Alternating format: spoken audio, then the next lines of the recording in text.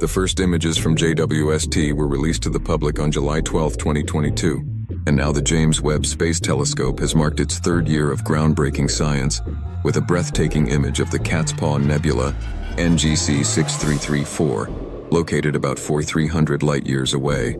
This vibrant nebula, resembling a feline footprint, is a stellar nursery where massive stars are born.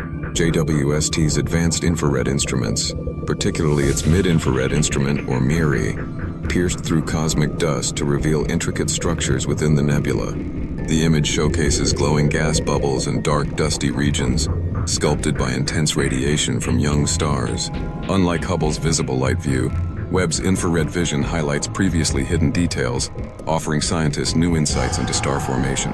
The Cat's Paw Nebula spans nearly 80 light years and hosts stars 10 times more massive than the Sun. Its reddish hues come from ionized hydrogen, energized by newborn stars. By studying such nebulae, astronomers can better understand how stars and planetary systems evolve.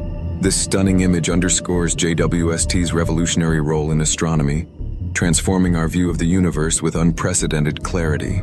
As the telescope continues exploring cosmic wonders, each discovery brings us closer to unraveling the mysteries of space.